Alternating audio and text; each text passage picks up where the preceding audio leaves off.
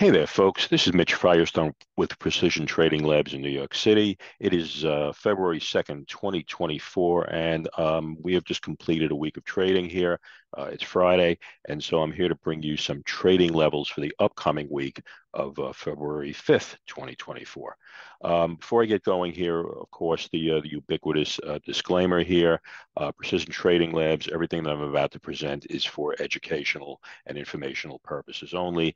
Um, Precision Trading Labs, we are not uh, financial advisors or money managers. And again, everything is for educational and, edu and informational purposes.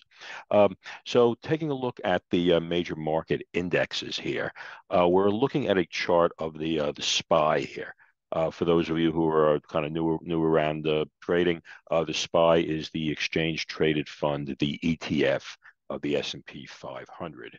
Um, and so, um, in fact, some of these charts actually only have kind of half, half, half the things that I want to show you. But then again, some of the other charts will have everything. And the reason being is that we're actually at an all-time high on some of these charts. And so as a result, there is um, what, what we refer to are, are demand zones that are below, but there are no supply zones above. In other words, there's no trading above. Um, and I'll kind of go into that in a couple of minutes here. So if we take a look at the SPY here, though, um, these are these bars here, of course, are this is a daily chart of the SPY. So this represents uh, each bar represents one day of trading. So um, these are areas where uh, right this is where we are right here now at 494 and change. And again, as I mentioned, uh, this is an all-time high. And so uh, what we're doing at Precision Trading Labs is we are looking for demand zones uh, below. So in order to then uh, put on some kind of trade uh, that's uh, on the bullish side when we get a retracement or a return back to that demand zone. So I've marked out various demand zones here, and I will now kind of kind of go into very briefly uh, what they are all about here. Um, and in fact, these this demand zone here that actually occurred uh, occurred at the beginning of this year, the very beginning of this year in uh, January, this was actually based on the two-hour chart. And so if I, in fact, change this over uh, to the two-hour chart, uh, we can see right here um, that, that area. Notice price came up here. We then went sideways. Uh, there was a, a, period of consolidation. Okay, then there was a gap, and then um, and then and, and then a pop, and then you know price kind of kind of went sideways for a bit, and then there was another uh, another shot up. And so when price returned to this level, we ended up getting another bounce out of here. Now we did not trade this level. Uh, this thing did that, that did not actually go as far as we would have liked um, in terms of a, of a, of a uh, quality demand zone. Uh, but but essentially, what these demand zones are, uh, they represent an exhaustion of of sellers. So right here, buyers and sellers were in agreement uh, during this period where they were kind of shuffling shares back and forth for about these two days here. Um, and then again, we're looking at a two-hour chart here. And then once once that happened, something happened here though, and there was a change of perception. And then there were nobody was willing to sell here anymore. And so there was a pop here. Um, but in fact, um, it, it, the, normally what we're looking for when when we have an exhaustion of, of sellers is we, we want to actually see this thing kind of rocket out of here and go a, go a long distance. And so price came back here. So in retrospect, uh, this was in fact a demand zone, and we then get we, we then got another bullish move out of this. Uh, however, again, that's all theoretical because in this particular case, we did not get a trade out of this. Uh, this just did, did, did not meet our criteria. Okay, so right now though we are looking for if we get if we then if we get some sort of correction in the market, uh, we are going to be looking for something where we can effectively buy the dip um, but buy the dip intelligently. And by that, by we mean um, we're looking for an area where uh, there was an exhaustion of sellers. Uh, that exhaustion was was uh, was basically a very brief amount of time, and then what happened was once once the buyers and sellers were in agreement here, once the the sellers left, um, price then rocket out of, rocketed out of there and went a long distance. We can see that occurred right here. Okay, and so the theory is, of course, when price returns back to this to this region, um, this was an area of interest where uh, where where there was buy where there was a tremendous amount of buying pressure that manifested itself. And so when price came comes back here, we're expecting to see uh, a good percentage of the time some kind of repeat of this behavior. Uh, and the reason being is that this was a very sudden exhaustion of sellers here. Um, and no one was willing to sell anymore. And then notice that there was only a couple of candles here. So this only went on like for less than one trading day. And so consequently, when price returns back here, a good amount of good amount of time, uh, we'll get a repeat of this behavior. Um, right here, we can think of buyers as the demand for shares, and we can think of the sellers in this as the supply of shares. So right here, supply and demand are both in sync, okay? But then right here, when price rockets out of here, um, essentially they go out of sync. And at that point, then there is no more um, there is no more supply left in this, only demand. Okay, and the reason we know that, of course, is because essentially buyers had to run up the price chart until they found willing sellers at all these points uh, afterwards. Okay, and so when price returns back to here, this is what we refer to as a demand zone. And the reason we call it a demand zone again is because there is no supply left anymore. Okay, so right in here, on this level that I just showed you earlier, uh, this is where supply and demand were in balance. Okay, right here though, we have supply and demand in balance for a very short amount of time, and then it goes out of balance again, created by an exhaustion of supply here. Okay, and so when price returns here, this is where we can then take on a um, take where we, where we can express a bullish trade, and I'll talk about expressing a trade in a couple of minutes here. Okay, but anyway, that's the story with the SPY. So this is an area based on the two-hour chart where we have a where we have a demand zone here, and if we look to see where price closed here today at 494 and change, uh, we would need a pullback uh, to go down to about 474. Um, so that's about a 20 point drop in the S&P, and that's on a percentage basis. That's about four percent. Okay, so we would need you know a, you know a fairly chunky. Um, at least the way the chart is laying out right now, this this is the area where there is a quality. Uh, we think there's a quality setup uh, in order to then to, you know to, in order to buy. Okay. Now, of course, if one drops this thing down to a five-minute chart or a ten-minute chart, uh, we could we could certainly talk about um, uh, day trading levels in that.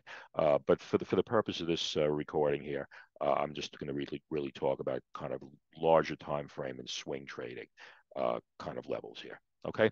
So that's the deal with the the SPY. normally, I would talk to you about um, supply zones but there are no supply zones because this is an all-time high. Okay, so at any rate, though, this is the next trading level on the SPY.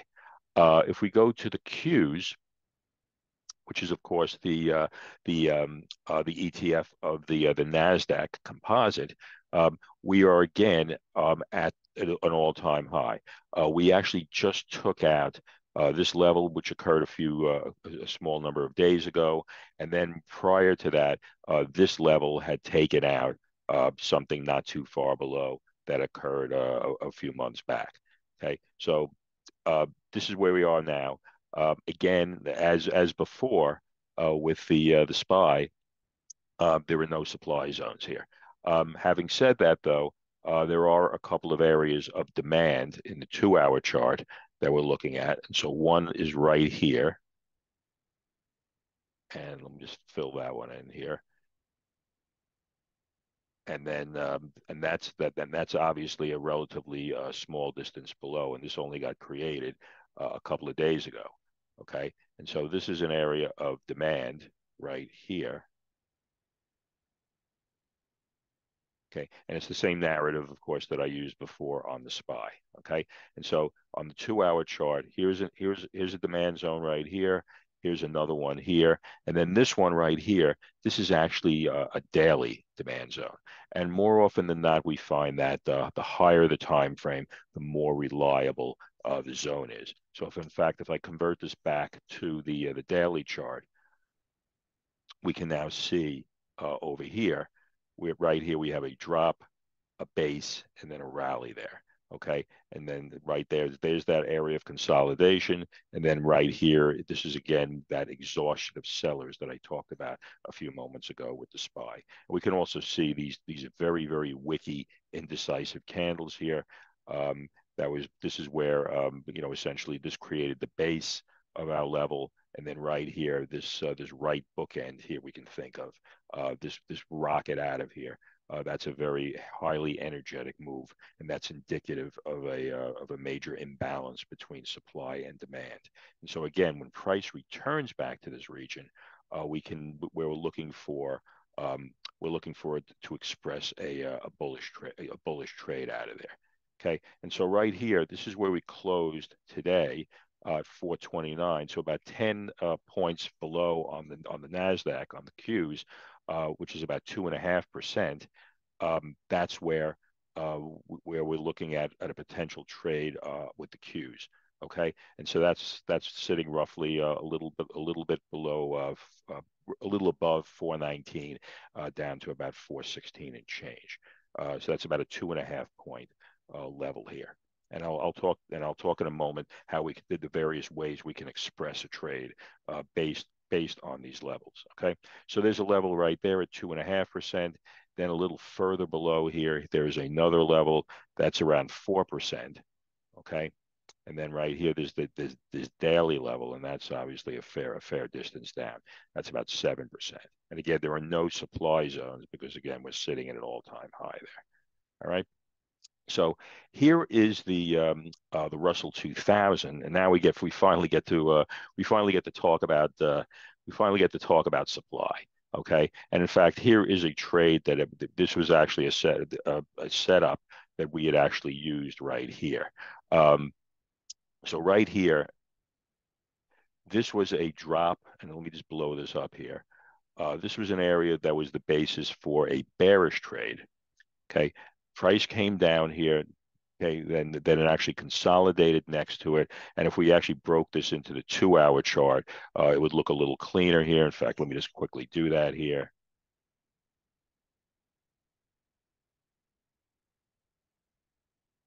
Okay so notice price came down here and then we actually had inside of here price actually goes up pivots here consolidates and then drops. And you can see there's a gap and then and then a continuation down here. Okay, so this was an area of supply. So this is the inverse of what I just talked about with respect to demand. This represents an exhaustion of buyers rather than sellers with the demand zone. And so when the price came back here, uh, when when the when the, uh, the the Russell 2000 returned here. Um, again, this was in here for a very short amount of time. This is essentially one day because we're still looking at the two-hour chart here okay? And so this is just really one day. And so when when the price came back here okay notice price the price kissed off the front here and then and then headed down over the course of the next uh, two and a half three days or so. And so in fact this was the basis of a nice trade that our subscribers had. Uh, and some people uh, just shorted the stock when they had a large account and most of our subscribers actually utilized uh, and bought puts uh, to, to express the trade here okay? And so this is in fact what i wanted to kind of mention earlier. So this is what in terms of having these levels here um, if you have a supply zone here you can you can utilize the, the supply zone as the basis for any number of uh, different trade structures. One can of course sell stock okay? So you can short the stock there. Another one would be to buy a put. Um, another what another thing one could do is if let's just say the puts are very expensive, you could also buy a, uh, a bear put vertical spread where you would actually uh, buy one put at a higher strike and then sell another one at a lower strike. Uh, that would have the effect of reducing the premium as well as um, changing the uh, the dynamics of the uh, the option trade in terms of some of the option Greeks. Okay, and then the last one is uh, for some people that like to create a passive income stream, uh, you could actually sell a, uh, a bear call vertical spread, and that would essentially allow you to collect premium. Okay, but all of these are actually based on uh, the same exact levels and utilizing the same exact entry point, which is the uh, the front the front door of this uh, supply zone here. But one could express this trade again, and these are just this is just the drop in the bucket here, because obviously there are numerous other option strategies what one could do, and of course within here, depending on the strikes and the expir expirations you you you can choose, um, there are there's you know almost an infinite number of ways you can trade this here. Okay. So that's the supply zone here. So that's a little above, that's a little more than 2% from where we are now at 194 and change. And then right down here uh, in the daily chart here, we can see that we're about four and a half percent down here. And again, here's a rally, a base and a rally there. Again, right here is where supply and demand were in balance, and then it goes out of balance here. And so when the price returns back here, there is the expectation because the price has not been back here, the, the, the, symbol has not been back here since and has not touched this region, that in fact there is still some residual demand in here. And so we can expect to see another bounce. And of course, if here and there, and you know, not, not here and there, uh, this is trading. And so as a result, does this work all the time? Of course it doesn't. Uh, this is trading. And so the one would the way one would construct this trade, and let's just leave options out of it. If one was just going to buy this uh, let's just say buy the symbol, the way one would, would, construct this trade was you would basically get in at the front door here at 185 and, and 50 some odd cents. Okay, so that would represent your entry. And then what you would do is you would put your stop uh, a few pennies behind at this level. And that essentially is where you would manage your risk. So this is where your stop out point is going to be. So I'm not going to be so arrogant as to say, well, it's going to come back here and, and automatically it's going to you're going to get a bounce and it's always going to work. Of course not. Um, this is trading. Um, and then right here, this is this is this corresponds to how much risk we would have in the trade. Okay, so this is one level of risk right here between between our entry and our stop out. Okay, so right here, this this is equidistant here. This is 100%. So this would be a one-to-one trade if this got there. That would be a two-to-one. That would be a three-to-one. Okay, and so that's how um, that's how we kind of manage risk here, and that would that also then would translate into our position sizing. Uh, and that's a discussion for another day. Okay, and of course the same exact same thing goes for the demand zone here. Okay, so one could express the trade by buying the stock, buying the call, and then of course they more doing a debit spread or a credit spread in the same manner that I talked about uh, for the supply zone. Of course, just you know turning everything on its head, of course, because we're we're going in the opposite direction here. All right, so that's the uh, that's the Russell 2000. Uh, last thing on the ETFs, we'll take a quick look at the bonds. Okay, this is the uh, the TLT. So this is the uh, the ETF of the uh, the the longer term bonds that are 20 years uh, and and more duration. Okay, so right here, um, here is where we close today at 96 and change. Okay, right here there is a drop, a base, and a rally here. So this is where uh, this is an area of of demand right here, and so uh, in terms of the distance where we are, uh, that's approximately uh, a little less than 4% down from where we are right here. over here, this was an area of, the, of supply here. And in fact, price the price came back here. Uh, you know, for the better part of a week, it kind of there was a, a, a battle in here. Uh, but if you if you you know you had an, a, resilient enough stop, uh, it did in fact drop out of here. Uh, and so you can see that there was essentially this created, uh, um, this was actually a, a, a trade. And so, some people actually utilize this simply for uh, selling uh, premium, um, uh, as I recall. But anyway, this is a tested supply zone now. So when the price returns here, uh, there is the, there is a fair expectation that this could be actually porous. So the first time when when the when the when price returns here, there's an expression: the first test is best. Um, and so right here, this was a supply zone. This is the test. It barely held on here. Um, so when price returns here, um, it, it w- I wouldn't be at all surprised to actually see think see see this actually be porous and actually have have this thing drive through. At which point, then that's our next area of, of fresh supply here. Okay, price has not been back there since. So in fact, one could, you know, on a short-term basis, uh, once price gets in here, uh, one could actually play a breakout trade uh, that goes through um, this uh, this this failed uh, supply zone that we're actually expecting. So there's a couple of different ways we can one can play here. Again, wait for this thing to get through this zone and then have a short-term uh, breakout trade and then convert and almost hit the uh, hit the reverse button then and then look for a, uh, a, a bearish trade out of here. Okay, and that's that's sitting at around the, the 101 and a half level. Okay. So that's the uh, that's the story with the ETFs. And taking a quick look at some uh, some major stocks here. Uh, here is our uh, friends at Apple. Um, so right here, here is a rally, a base, and a drop there in the daily chart here. Um, this is an area of uh, supply here. Um, we're gonna we would be a little more cautious about this because there is a little bit of trading and a little bit of consolidation that actually occurred right here. So I would actually be thinking about this a little more, thinking about this a little further, might approach this with a little more caution. Um, this would, in fact, would be a, a, good opportunity to actually use utilize a debit spread because of the fact that you would run a lower delta on it. And so that would lower uh, your risk on that. Okay. And so right here, anyway, this is where we've closed today. So we're about four and a half percent up here. And then right down here on the two hour chart, there is a drop, a base, and a rally there uh, and that's about 5% down.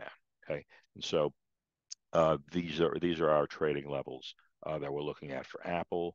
Uh, flipping over to Google, um, uh, right here. Um, here is a, uh, a clear rally base and a drop there. Um, and in fact, this I believe was an earnings. Let me just take a quick look here. I think this was yeah. See that blue cross here. That's associated, that's an earnings gap here. So in fact, we, we, we tend to be a little more cautious on news related, uh, particularly something like an earnings gap, because essentially this is all, you know, based on perception and you know a change in a change of viewpoint here, not actual depletions of supply or demand here, um, because the perception of the stock had changed there. So but we'll we'll keep an eye on that. So that's about six percent up here, and that's about seven. And then we have a demand zone here on the two-hour chart down here, um, and that's um, that's about uh, seven uh, percent down.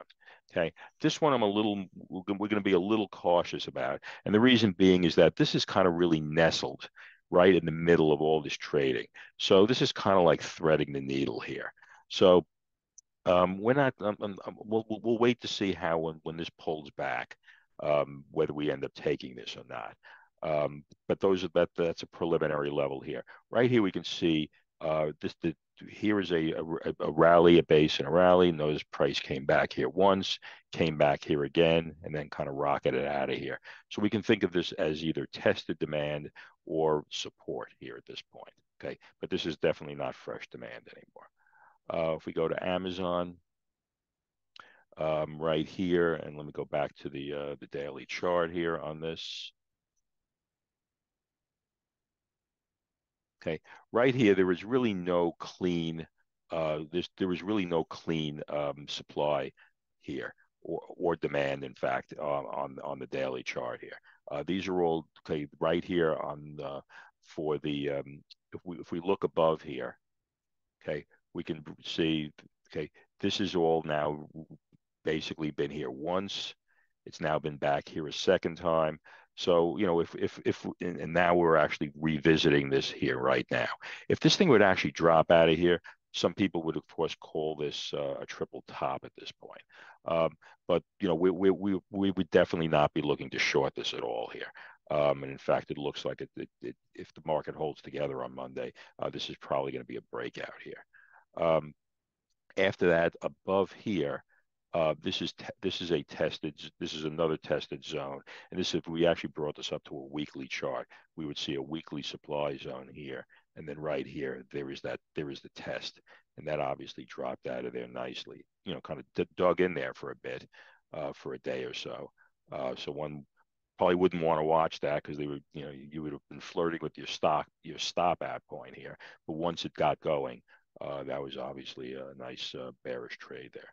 So there's really nothing here on the daily chart. There is a one hour zone down here, about 8% down. Uh, but that's a fair distance down. So uh, not a whole lot there on Amazon. And incidentally, one of the things we always talk about uh, with our subscribers is not every chart, um, not every chart has a, a uh, setup. Um, and so some people think, you know, whatever chart you're looking at, there has to be a setup. No, Um, not every chart has a setup. So uh, right here, um, if we go back to Tesla here. So here we are on, here's, here's Tesla. So here's a good example of a zone that is, has gone basically only done half of its job. So if we go back here, okay, there was a drop, a base, and then notice this this march of green candles. Uh, okay, and you can see that's a that's a pretty pretty you know robust move. Okay, and so th- in fact this this qualified as a uh, as a demand zone here, but in fact we can see the zone has really only done half of its job. It has stopped the fall in price. Okay, but obviously it, it, it, but it really hasn't done anything much since. There was a little little minor bounce and then really not much after that.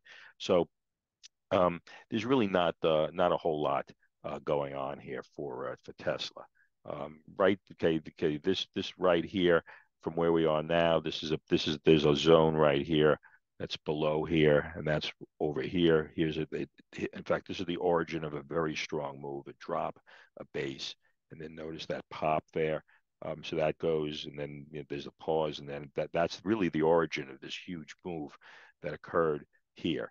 Um, but that's obviously a, a, a you know that that's about nine percent down uh, from where we, where we are now. Now you might look up and go, okay, well right here, this is an obvious area where there's an exhaustion of sellers. Um, that precedes this big gap. Um, this might be just kind of too obvious. We'll certainly keep an eye on it but I don't necessarily know that we would we're going to be raised if we if we would get a recovery up here. I don't know if we would necessarily immediately jump uh, to uh, to short out of there or to do a bearish trade until we actually got some confirmation there. Uh, because if, if all one had to do was this kind of short from something like this, uh, trading would be really easy, and uh, it, you know, so, and and it isn't. Um, so quite often, uh, something like this may not necessarily work. So what we would do is we would we would wait to see some confirmation, you know, coming out of this thing, probably by looking at let's say a very bearish one-hour candle or something, or even a couple of couple of one-hour candles, or even a close a daily close below before we would actually then pull the trigger and go short out of here. So that's Tesla, and we'll finish up here with Netflix. So right here, um, here's Netflix. There was actually nothing, okay, above here, this is actually a weekly zone, about 8% uh, above where we are right here. So you can see right here, price comes up in the daily chart, kind of, you know, plateaus here, and then notice then this this this this ex exhaustion of buyers that occurred. And if you change this into a weekly chart, uh, you'll see it kind of really it, it kind of right now we're actually sitting at the uh, the 52 week high here, and then if we go right here, we can see right there. There's the the region that I just showed you in the in the daily, but you can see very clearly there's a rally, a base, and the drop there. And then notice that's just a huge, you know, a huge dump that occurs right at the uh, right at the beginning of uh, two years ago, the beginning of uh, of uh, of 2022. Uh, okay, so that's that region. Uh, so let me flip this back to the, the daily chart here. So there's that weekly uh, supply zone that's sitting around 8% up. Okay. And then right down here, uh, there's really no demand until we get way that, you know, n- n- quality demand to, of at least, like, let's say, a two hour level.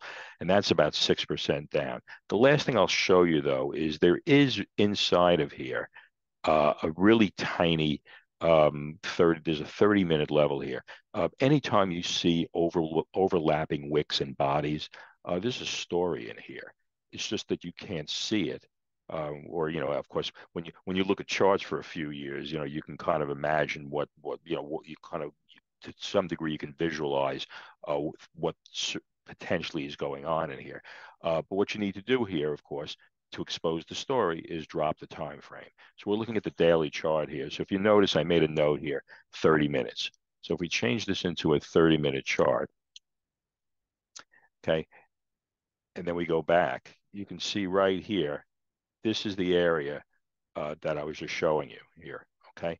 And so right here we have a very decisive uh, red candle here. Notice then these two kind of wicky green ones, and then notice this rocket that occurs right here. Okay, so this is the area where, again, there's the exhaustion of sellers here. and buyers run up the price chart in, in order to find willing sellers. So again, when price returns to here, uh, this is where we're going to, express a uh, bullish trade in the manner that I uh, discussed a few minutes ago. All right. So at any rate, uh, that's uh, that's what I got here. So the one thing I would like to uh, leave you with here is um, if you uh, if you found this inter interesting and useful, uh, we would appreciate if you would subscribe to our YouTube channel. Also, uh, give us a like, and uh, I would be delighted to uh, to talk to anybody about um, how this can be utilized, the concept of supply and demand for constructing high probability trades. Um, in addition, not I didn't actually include this on the slide here, but this can also, of course, be utilized in creating uh, daily setups, as, excuse me, uh, uh, intraday setups, as well as swing trading. So the same way all of these things work with um, daily charts, weeklies, and two hours, uh, one could also utilize uh, two, three, and five minute uh, levels here as well. Um, the, the, concept of supply and demand is entirely universal and fractal. So at any rate, there you go. Uh, this is Mitch Firestone with Precision Trading Labs. Uh, thank you for the privilege of your time, and I will see you guys next week. Take care. Bye bye.